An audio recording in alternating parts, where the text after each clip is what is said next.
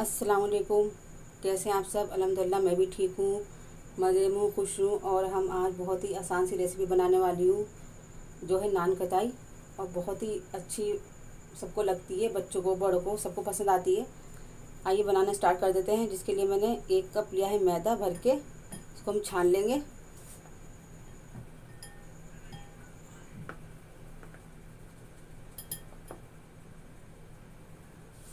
दो चम्मच भर के ये है बेसन।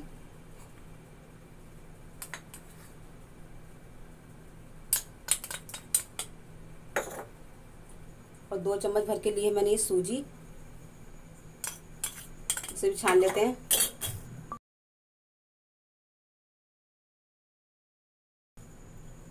अब इसको एक साइड कर देते हैं।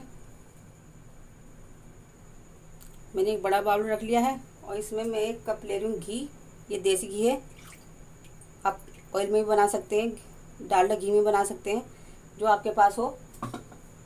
और ये एक कप चीनी है, एक कप में थोड़ी सी कम है चीनी, पीसी हुई। इसमें डाल देते हैं। इसे अच्छे से मिक्स कर लेंगे।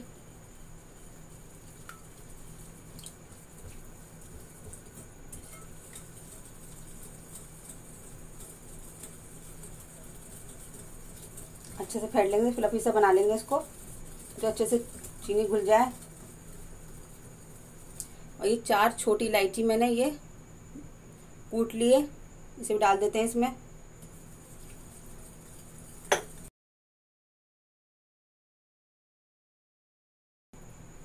ये थोड़ा थोड़ा करके डालेंगे। ये जो हमने मैदा और बेसन छान के रखा है सूजी थोड़ा थोड़ा डालेंगे। अच्छे सारा मिल, मिला देती हूँ।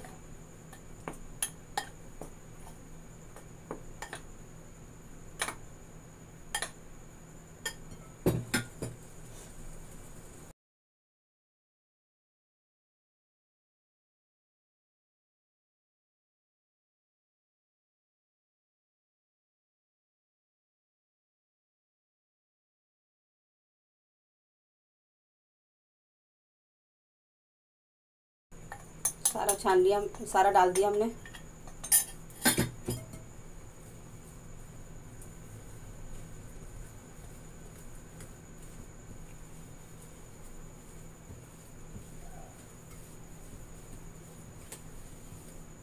अब हाथ से करेंगे हम। सारा निकाल देती हूँ इसके अंदर, फंस गया है ये।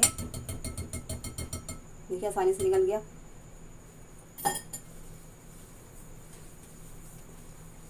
हल्के हाथों से मिला लेंगे इसे।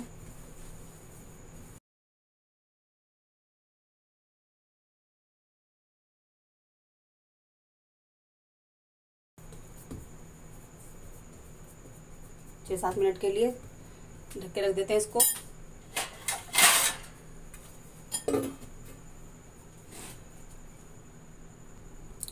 ये मैंने नान कटाई पे लगाने के लिए थोड़े पिस्ते काटे हैं, थोड़ा बादाम और थोड़े ये बड़ी इलायची के दाने हैं ये। ये बड़ी इलायची, इसके दाने निकाल लिए मैंने। मैंने एक पोट रख लिया है और इसके अंदर मैं डालूँगी नमक।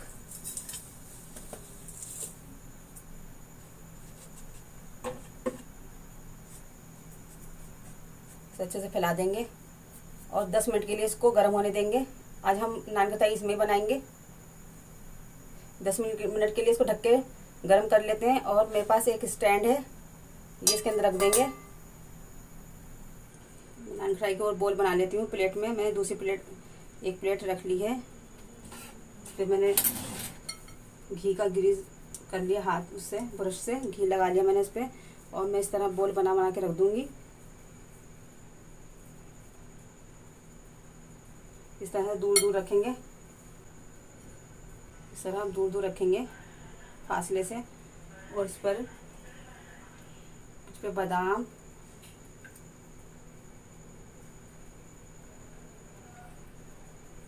पिस्ता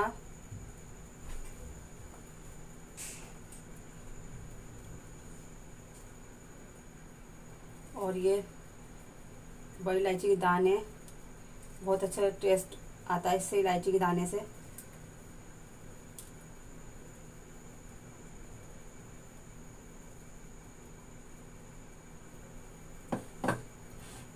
रख देंगे हम।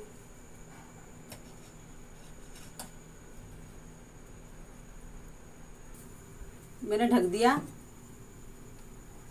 एक प्लेट रख दी मैंने इसके अंदर। ये जो नान खटाई बनाई थी वो रख के इसे ढक देते हैं मीडियम आँच पे। और हम 10 मिनट से पहले चेक कर लेंगे।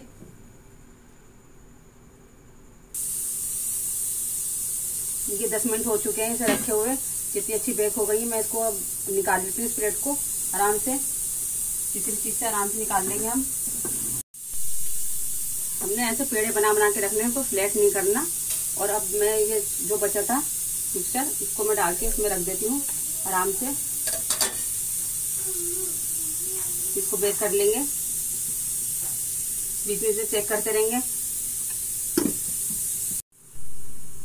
आई चेक कर लेते हैं। मैंने बीच बीच में एक दो बार इसको चेक करा था, क्योंकि चेक नहीं करेंगे तो ये जल जाएँगी। अब ये भी बेक हो चुकी हैं इसे निकाल लेते हैं, प्लेट बाहर निकाल लेते हैं आराम से।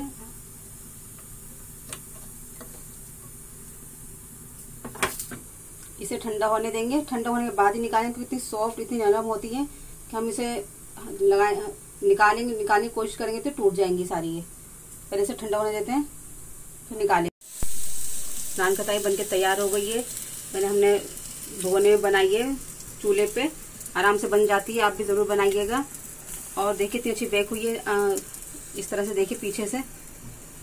और साइड में दोनों तरफ़ से देखिए, इतनी अच्छी लग रही है। पिस्ता, आप पिस्ता भी लगा सकते हैं। आप इलायची भी ला सकते हैं। आप बादाम भी लगा सकते हैं। मैंने आपको तीन तरह की बना के दिखाई है कि आप कुछ भी लगा सकते हैं इसमें। बहुत ही टेस्टी लगेगी। और इतनी सॉफ्ट इतनी मज़े की बनी है। प्ले गेमर हैशटैग मेरे सब्सक्राइबर हैं उन, उनकी रिक्वेस्ट पे मैंने ये नान कताई बनाई है।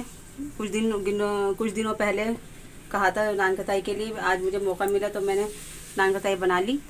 और आप भी बनाइएगा आपके साथ में शेयर करिए नान कताई की रेसिपी इंशाल्लाह और नेक्स्ट वीडियो में मिलेंगे। अल्लाह हाफिज़।